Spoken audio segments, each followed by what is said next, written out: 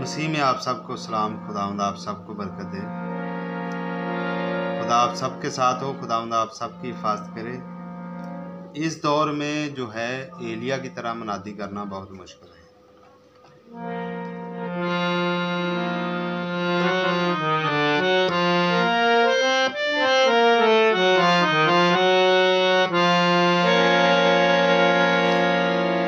इसलिए मुश्किल है कि वो सच बोलते थे, इस दौर में लोग ज़्यादातर झूठ बोलते हैं। बताते कुछ हैं, करते कुछ हैं, खुदावंद आप सबके साथ हो। मैं जो काम कर रहा हूँ, वो तो मैं करता ही रहूँगा, जब तक मैं हूँ, जब तक मैं रहूँगा। और मैं खुदावंद के फजल से कोशिश करता हूँ कि मैं खुदा का काम जो है, वो गैरत से करूँ और नीयत से करूँ। ठीक है कभी कभार लोगों के रवैये से बहुत मुझे गुस्सा आता है, लेकिन मैंने कभी उनको बताया नहीं कि मुझे आज ये वीडियो मैं बता रहा हूँ कि मैं बहुत ही आज तकलीफ़ में हूँ।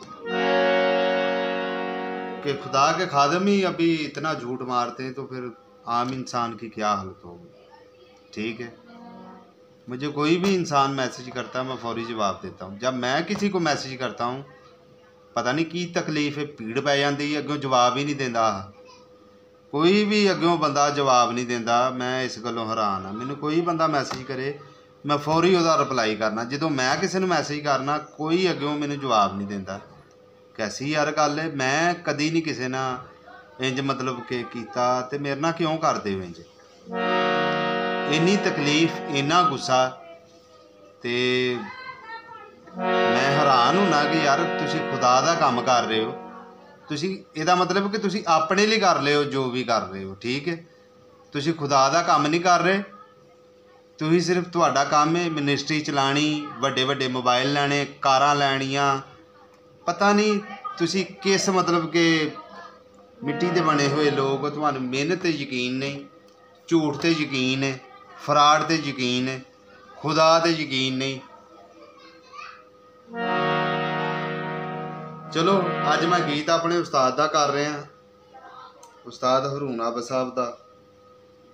ਕਾਫੀ ਲੋਕਾਂ ਮੈਨੂੰ ਕਿਹਾ ਸੀਗਾ ਕਿ ਉਹਨਾਂ ਨੂੰ ਨਹੀਂ ਸੀ ਪਤਾ ਕਿ ਮੇਰੇ ਉਸਤਾਦ ਜੀ ਜਿਨ੍ਹਾਂ ਜਿਨ੍ਹਾਂ ਲੋਕਾਂ ਮੈਨੂੰ ਲਿੰਕ ਸੈਂਡ ਕੀਤਾ WhatsApp ਤੇ। ਰੂਹੇ ਪਾਕ ਦਿਲ ਮੇ ਆਇਆ ਹੈ ਨਇਆ ਜੀਵਨ ਮੈਨੇ ਪਾਇਆ ਠੀਕ ਹੈ?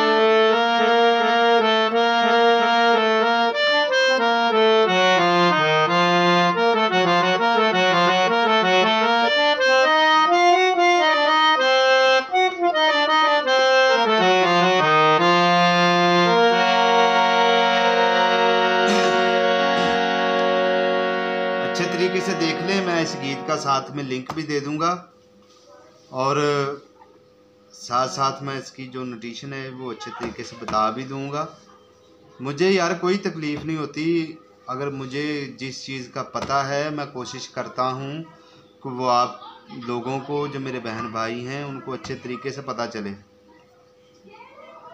ਜਦੋਂ ਵੀ ਮਰਨਾ ਹੈ ਜਦੋਂ ਵੀ ਕਬਰ ਦੇ ਵਿੱਚ ਜਾਣਾ ਹੈ ਤੁਸੀਂ ਨਾਲ ਤੇ ਲੈ ਕੇ ਨਹੀਂ ਜਾਣਾ ਇੱਥੇ ਦੱਸ ਜੋ, ਨਹੀਂ ਦਿਓ ਜਿਹੜਾ ਕੁਝ ਹੈ ਤੁਹਾਡੇ ਕੋਲ, ਤਾਂ ਕਿ ਜਿਹੜੇ ਲੋਕ ਬੇ, ਮਤਲਬ ਫਿਰ ਰਹੇ ਨੇ ਇਸੇ ਤਰ੍ਹਾਂ, ਉਹਨਾਂ ਨੂੰ ਮਿਲ ਜੇ। ਤੁਸੀਂ ਕਿਉਂ ਮਤਲਬ ਮੁਨਾਫਕਤ ਕਰਦੇ ਹੋ?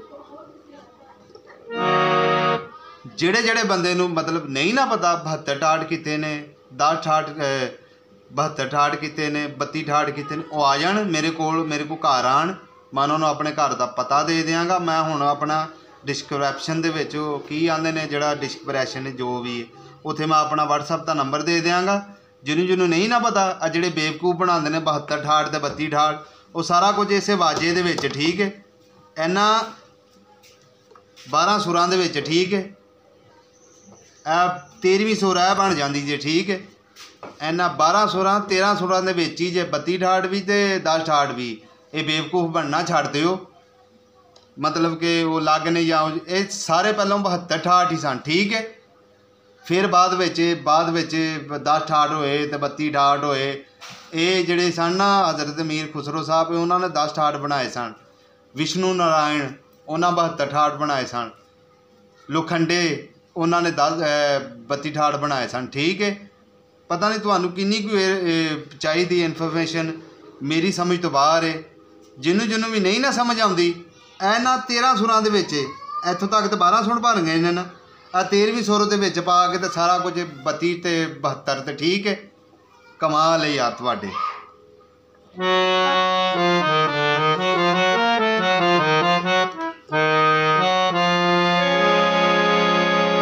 ਸਿਰ ਮੈਨੂੰ ਗੁੱਸਾ ਨਹੀਂ ਸੀ ਆਣਾ ਇੱਕ ਬੇਵਕੂਫ ਦੀ ਵਜ੍ਹਾ ਤੋਂ ਅੱਜ ਮੈਂ ਇੰਨਾ ਕੁ ਤਪ ਗਿਆ ਨਾ।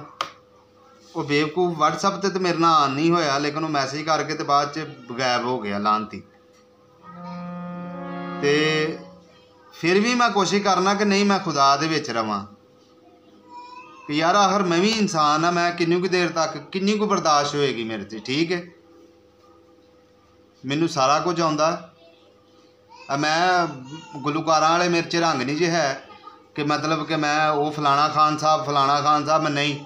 ਮੈਂ ਨਈਮ ਗਿੱਲ ਮੈਂ ਨਈਮ ਮਸੀਹ ਹਾਂ ਮੈਂ ਉਹੀ ਰਹਾਂਗਾ ਮੈਂ ਇਹੋ ਜਿਹਾ ਮੈਨੂੰ ਕੋਈ ਸ਼ੌਕ ਨਹੀਂ ਆਇਆ ਕਿ ਮੈਂ ਮੈਨੂੰ ਕੋਈ ਨਈਮ ਖਾਨ ਸਾਹਿਬ ਕਵੇ ਤਾਂ ਮੈਂ ਬੜਾ ਅੱਛਾ ਸਮਝਾਂਗਾ ਇਸ ਚੀਜ਼ ਨੂੰ। ਮੈਨੂੰ ਕੋਈ ਫਲਾਣਾ ਮੈਂ ਜਦੋਂ ਮੇਰਾ ਨਾਂ ਜੋ ਹੈ ਨਈਮ ਮਸੀਹ ਤੇ ਮੈਂ ਉਸ ਨਾਂ ਦੇ ਵਿੱਚ ਮੈਨੂੰ ਖੁਸ਼ੀ ਹੋਣੀ ਚਾਹੀਦੀ ਹੈ। ਫਲਾਣਾ ਖਾਨ ਤੇ ਫਲਾਣਾ ਖਾਨ ਕਿਉਂ ਭਾਈ ਨਾ ਤੇ ਮੈਂ ਕਿਸੇ ਦਾ ਕਰਜ਼ਾ ਦੇਣਾ ਹੈ, ਤੇ ਨਾ ਹੀ ਕਿਸੇ ਨੇ ਮੇਰੇ ਕੋਲ ਕਰਜ਼ਾ ਲਿਆ। ਹੈ ਠੀਕ ਹੈ? ਜਿਹੜਾ ਵੀ ਮੇਰਾ ਭੈਣ ਭਰਾ ਮੈਨੂੰ ਅੱਛੇ ਤਰੀਕੇ ਨਾਲ ਬੁਲਾਏਗਾ, ਮੈਂ ਉਹਨੂੰ ਅੱਛੇ ਤਰੀਕੇ ਨਾਲ ਮਿਲਾਂਗਾ। ਜਿਹੜਾ ਬੇਵਕੂਫ, ਮੇਰੇ ਨਾਲ ਬੇਵਕੂਫੀ ਕਰੇਗਾ, ਉਹਨੂੰ ਮੈਂ ਹਰ ਤਰੀਕੇ ਨਾਲ ਮਿਲਾਂਗਾ। ਠੀਕ ਹੈ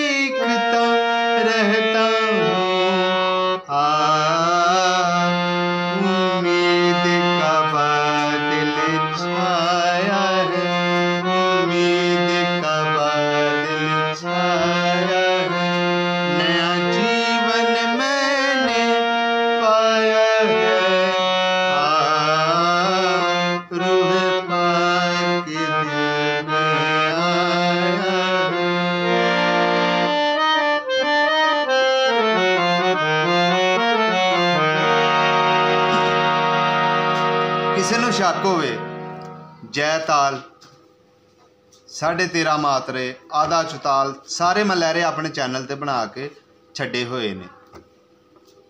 ਯਾਰ ਫਿਰ ਮਤਲਬ ਕਿ ਐਸੀ ਵੈਸੀ ਗੱਲ ਕਰਨ ਦਾ ਕੋਈ ਤੁਹਾਡਾ ਤੁਕ ਬਣਦਾ? ਤੁਸੀਂ ਪਹਿਲੇ ਉਹਨਾਂ ਨੂੰ ਜਾਓ ਆਪਣੇ ਉਸਤਾਦ ਕੋਲ, ਜਿਹਦੇ ਕੋਲ ਤੁਸੀਂ ਵਾਜਾ ਸਿੱਖਣ ਡਏ ਹੋ। ਉਹਦੇ ਕੋਲ ਜਾਓ ਕਿ ਉਸਤਾਦ ਜੀ ਆ ਦੇਖੋ ਜ਼ਰਾ ਕਿ ਤੁਸੀਂ ਇੰਨੀ ਦੇਰ ਤੋਂ ਸਾਨੂੰ ਸਿਖਾ ਰਹੇ ਹੋ, ਕਿ ਤੁਸੀਂ ਸਾਨੂੰ ਗਲਤ ਤੇ ਨਹੀਂ ਸਿਖਾ ਰਹੇ। ਮੈਂ ਹੁਣ ਆਪਣੇ ਉਸਤਾਦ ਕੋਲ ਮਤਲਬ ਕਿ 30 ਸਾਲ ਸਿੱਖਿਆ ਉਹਨੇ ਮੈਨੂੰ ਹਰ ਚੀਜ਼ ਦੱਸੀ ਹੈ। ਇੱਥੋਂ ਇੰਜ ਕਰਨਾ, ਇੱਥੋਂ ਇੰਜ ਕਰਨਾ। ਠੀਕ ਹੈ? ਤੇ ਮੈਂ ਜੋ ਕੁਝ ਮੇਰੇ ਉਸਤਾਦ ਨੇ ਦੱਸਿਆ ਹੈ, ਉਸਤਾਦ ਹਰੂਨਾਬ ਸਾਹਿਬ ਨੇ ਉਹ ਸਾਰਾ ਕੁਝ ਮੈਂ ਆਪਣੇ ਚੈਨਲ ਤੇ ਦੱਸਿਆ ਹੈ।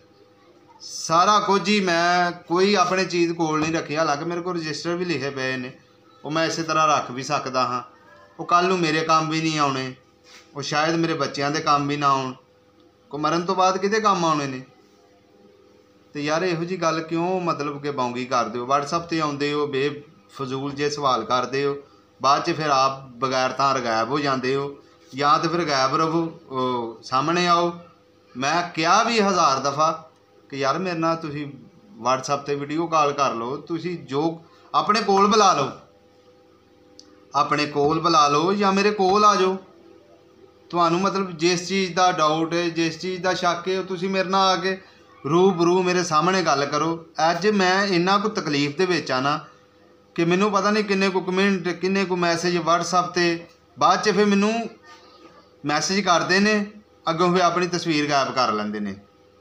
ਅਜੀਬ ਹੀ ਯਾਰ ਤੁਹਾਡੀ ਸਟੋਰੀ ਹੈ, ਅਜੀਬ ਕਹਾਣੀ ਹੈ। ਤੁਸੀਂ ਇਨਸਾਨ ਹੋ, ਡੰਗਰ ਹੋ, ਬੰਦੇ ਹੋ, ਮੇਰੀ ਸਮਝ ਤੋਂ ਬਾਹਰ। ਲੇਕਿਨ ਮੈਂ ਖੁਦਾ ਦਾ ਕੰਮ ਕਰਨ ਡਿਆ ਜਿਸ ਟਾਈਮ ਵੀ, ਜਿਹੜਾ ਵੀ ਆਂਦਾ ਨਾ ਕਿ ਮੈਂ ਬੜਾ ਵੱਡਾ ਮਤਲਬ ਫੰਨੇ ਖਾਮ ਵਾਂ ਮੈਂ ਬੜਾ ਤਾਕਤਵਰ ਆ, ਉਹ ਆ ਜੇ ਮੇਰੇ ਨਾਲ। ਮੇਰੇ ਨਾਲ ਮੁਕਾਬਲਾ ਕਰ ਲੈ, ਲੜ ਲਵੇ, ਜੋ ਮਰਜ਼ੀ ਕਰ ਲਵੇ। ਮੈਂ ਨਹੀਂ ਕਿਸੇ ਕੋ ਵੀ ਡਰਦਾ, ਠੀਕ ਹੈ? ਨਾ ਮੈਂ ਕਿਸੇ ਕੋ ਲੈ ਕੇ ਖਾਣਾ ਤੇ ਨਾ ਹੀ ਮੇਰੇ ਕੋ ਕੋਈ ਲੈ ਕੇ ਖਾਂਦਾ। ਜਿਹੜਾ ਮੈਂ ਕਹਾਂ ਕਿ ਭਈ ਮੇਰੇ ਬਹੁਤ ਹੀ ਮਤਲਬ ਕਿ ਗੱਲਬਾਤ ਹੈ ਨਹੀਂ। ਮੈਂ ਜੋ ਕੁਝ ਵੀ ਹਾਂ, ਮੈਂ ਖੁਦਾ ਦੇ ਵਿੱਚ ਹੀ ਹਾਂ। ਲੇਕਿਨ ਤੁਸੀਂ ਥੋੜੀ ਜਿਹੀ ਸ਼ਰਮ ਕਰ ਲਓ। ਤੇ ਇਹੋ ਜਿਹੇ ਫਜ਼ੂਲ ਜਿਹੇ ਸਵਾਲ ਕਰਨੇ ਛੱਡ ਦਿਓ, ਠੀਕ ਹੈ? ਖੁਦਾ ਤੁਹਾਨੂੰ ਬਰਕਤ ਦੇਵੇ, ਖੁਦਾ ਤੁਹਾਨੂੰ ਖੁਸ਼ ਰੱਖੇ, ਆਮੀਨ।